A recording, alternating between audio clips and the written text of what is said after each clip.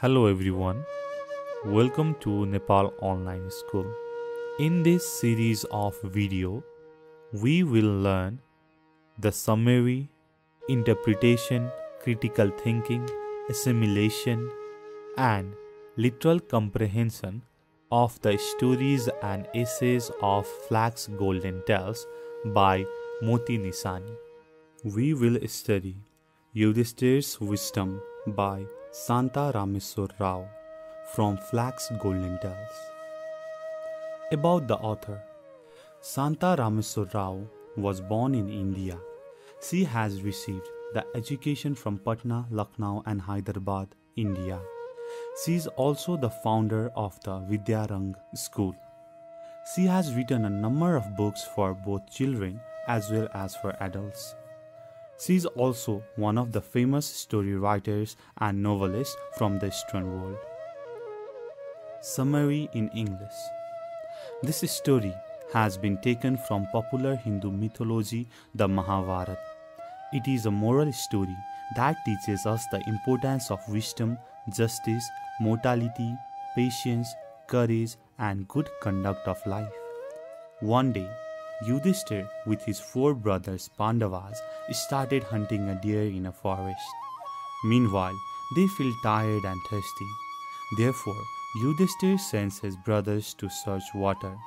However, they never return back. It makes Yudhishthir feel so sad and goes for searching his brothers. As he starts walking, he finds a beautiful pool with, fresh and cool water. He also sees his four brothers who are dead and unconscious. He hears the voice calling him to answer before drinking water. The voice is a warning not to drink the water before answering the questions. In fact, the voice is by Yaksha. Yudhishthir obeys Yaksha before satisfying his thirst. Similarly, he correctly answers Yaksha's philosophical questions. Yaksha is pleased with Yudhishthir's wisdom.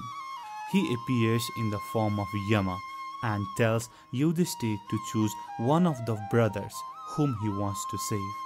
Because except him, all brothers already drank the water disobeying the warning of the voice, that is, the voice of Yaksha, and fell on the ground one by one and became unconscious because of the curses of the voice.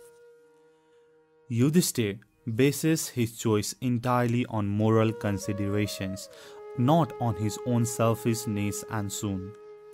Without selflessness, he asks his brother Nakul, only one son from his stepmother, to be saved. Yaksha is so happy with his wisdom. He even tells him that he restores all his brothers. In addition, Yaksha promises him to protect them from future hardships and give him some useful device on where to go next.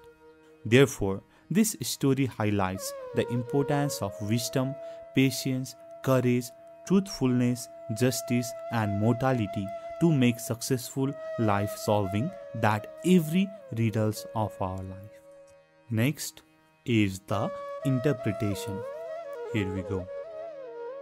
This story states the importance of patience and obedience to God's wisdom and right conduct. Courage is man's surest weapon against danger, and if he gives up his pride, he is loved by all. This is a moral in which we can make a life successful if we follow the truthful, right, and moral path like Yudhishthir did. Critical thinking.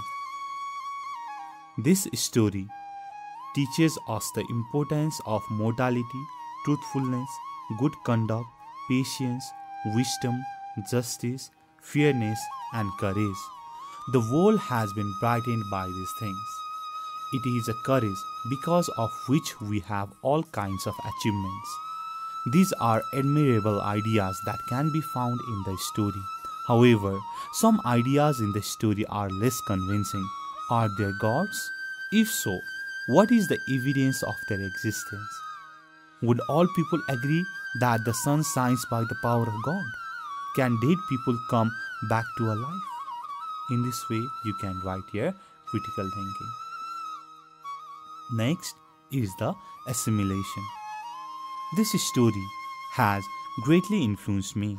I have learned a good moral lesson from the path of Yudhishthir, where one's life becomes successful out of many challenges and difficulties if he or she has the courage, patience, wisdom, truthfulness, and justice. If one does good, loves all creature, follows the right and truth, has the courage and patience, uses his wisdom, then he surely remains immortal in this world forever.